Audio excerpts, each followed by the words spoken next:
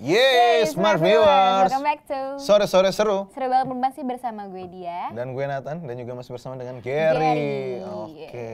Nah, dia, lu tahu nggak dari Apa berarti tuh? ini menurut lu yang tanggung apa nih? Em, atasan udah, Atasan udah. bawa bawahan maksudnya kos kaki udah, aksesoris udah. Nah, yang iya, kurang iya. apa tan? Yang kurang, ah lu bridgingnya salah lu. Kalau Enggak, lipet-lipet. gue gue gue pengennya lo yang sebutin. Lo kalau Bajunya- sebutin lo lucu gitu. Bajunya udah ada, bagian kakinya sepatunya udah ada. Yang kurang tinggal di antaranya guys. Apa tuh di antaranya? Ya, nggak usah yang dalam dulu deh, yang luarnya dulu. Celananya guys. Iya. Gimana Giri? Lu ada cita-cita buat ngeluarin celana nggak nih?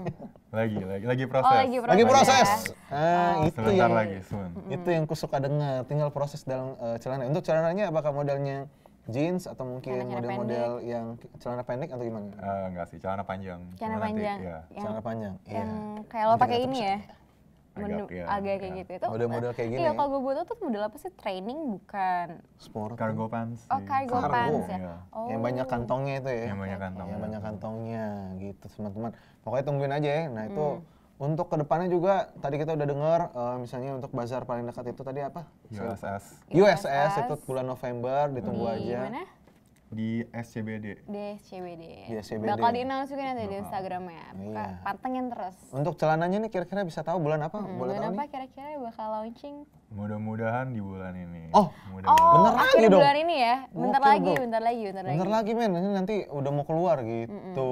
Nah, eh, Gary nih, biasanya kita udah sampai di ujung eh, acara, kita nanya-nanya biasanya ngomongin masa depan nih. Oh, iya. Deh. Nah, tadi kan udah ngomongin masa lalu dan masa sekarang. Coba kita ngomongin masa, Masa depan. depannya. Nah ini Ger, kalau misalnya Udah datang ke sore-sore Sore seru. seru Gak afdol kalau enggak kita kasih pertanyaan ini Tan. Apa pertanyaannya? kalau misalnya menurut lo tiga kata yang mewakili get dirty, eh get eh, dirty, yang mewakil, yang dirty, dirty. Tiga kata ya. Hmm, humor, humor, Humor, mungkin uh, pop culture, pop, culture, sama street. street. street, Ya. street, street. Oke, jadi Tiga itu. memang gaya-gayanya eh, karakter-karakternya itu udah tergambarkan dari tiga kata itu semua. Mm. Sebenarnya dari dirty aja lo mungkin udah kebayang gitu Iya, ya. udah, udah kebayang pasti lihat, pasti bajunya udah kelintas nih di otak lo modelnya apa? kayak apa. Gitu. Nah, ini kan kita udah bentar udah baru aja melewati eh, tujuh, eh, 8 bulan ya. 8 bulan di tahun ini. Mm. Nah, untuk sisa 3 4 bulan ke depan ini Yaps. eh, goals yang pengen lu capai dari Dirty Iya. apa sih Gar di 2019 ini?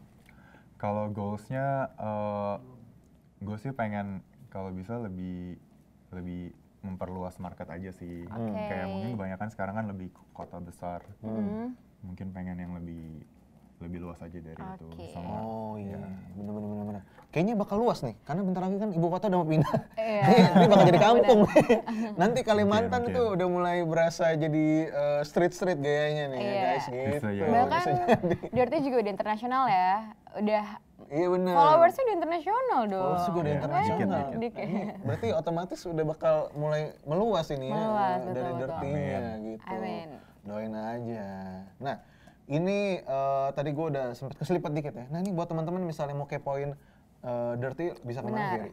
Uh, mungkin bisa lihat di Instagram kita, Mm-hmm. uh, nama Instagramnya Get Dirty with double R, Oke.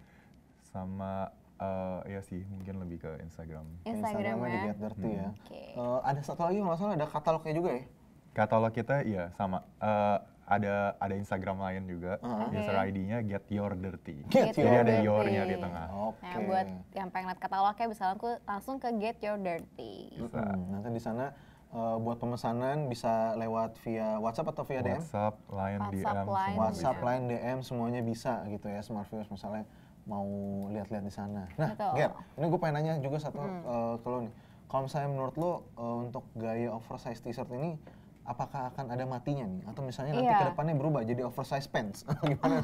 Atau nanti celana-celana lo jangan oversize pants yang kargonya. Kalau ya kalau misalnya cara orang pakai street style ya emang beda-beda sih. Kayak Iya, bakal benar. berubah terus sih. Kayak mungkin lama-lama orang bosan sama yang oversize, mungkin nanti lebih yang Iya, kayak benar. lebih fit atau Iya, apa. fashion cuman industry kan kayaknya terus ya. eh, cuman kayaknya sih masih bakal lumayan Ma- lumayan panjang. lama ya panjang. panjang. Soalnya oversize juga dari sebenarnya dari 90s, Dari 90s aja, 80s, heeh. dari itu Oh, iya. bahkan sekarang in lagi nih si Iya, oversize ini balik lagi. gitu. Jadi nanti pasti akan ada masa-masanya gitu ya, Iya, nanti in benar. atau mungkin enggak. Tapi pasti ke depannya eh, untuk sementara ini pasti mungkin akan lama banget ini ya untuk Hmm, model-model oversize kayak gini. Kayaknya. Gitu. Nah, dan juga kalau misalnya lu sendiri ngelihatnya eh kalau misalnya zaman sekarang ini oversize t-shirt itu eh, keadaannya seperti apa lu ngeliat? Mungkin baru innya tuh untuk anak-anak street atau mungkin untuk eh, daerah Jakarta, lu, lu ngeliatnya eh, Iya. gaya fashion sekarang itu kayak seperti apa sih? Orang lebih sukanya pakai model-model seperti apa? Kalau kalau gue sih ngelihatnya sekarang eh, orang lebih lebih kayak lebih kayak jadi dirinya sendiri sih. Iya, betul. Jadi kayak emang sekarang lebih kalau zaman dulu kan benar-benar kayak oh pokoknya 90s kayak gini. Iya, betul. Pokoknya tahun Oh, udah tahun terpatok 80s gitu kayak ya. gini gitu. Ah. Kalau sekarang tuh kayak orang lebih bisa explore and sendiri match kayak juga ya. ada yang lebih suka kayak oversize, Hmm. ada yang mungkin lebih suka sekarang kayak pakai kemeja Oke, iya. yang ya. Bahkan sekarang jadi kayak sih. oversize aja bisa digabungin sama kemeja kan. Iya. Bisa di mix and match nggak harus 90s terus, 80s terus Iya. gitu. Jadi sekarang lebih emang ke mix sih semuanya Betul. menurut gue. Semuanya masuk aja gitu ya pandangan lu terhadap dunia fashion sekarang gitu ya. Iya. Tapi bener sih menurut gua kalau buat dari lu sendiri dia eh, kita tuh pakai baju fashion tuh lebih ke apa yang kita nyaman, lebih ke nyaman Iya benar-benar. Balik ke diri kita sendiri, ya kan benar. Mm-mm, jadi maksudnya pakainya tuh nggak harus ngeliat apa yang orang ini Iya, suka, tapi asal betul. dari kita juga nyaman gitu ya. Betul. Gokil, itu ya smart viewers, gokil. Udah lama nih gua nggak ngomong bahas-bahas rada berat juga nih waktu lagi ngomongin pandangan fashion. Yo, nah, asik. Asik. Pandangan Nah, fashion Tan. Jadinya eh, udah nggak terasa juga nih, wah udah Udah satu jam nih kita namanya jam, Smart guys. Viewers buat lihat-lihat Get Dirty, oh Dirty. Hmm, jadi kita mau thank you dulu ya untuk Gary, thank you Gary udah datang Thank untuk you, Gary, ngobrol-ngobrol udah mengenai dirty-nya. Ini denger-denger nih buat baju buat gue. ya. Nggak dibalikin ya. Makasih loh. Oke. Nah, kita juga mau terima kasih kepada kru yang bertugas untuk Smart Viewers yang udah nonton. Jadi tetap saksikan SSS di hari dan jam yang sama. Jadi kita pamit undur dulu dulu ya. Iya. Iya, pamit undur dulu. Pamit undur diri dulu nih Smart Viewers. Dia pamit undur diri. Nathan pamit serta seluruh kru yang bertugas juga pamit undur diri dan berterima kasih. Sampai jumpa di episode berikutnya. Bye. Nah,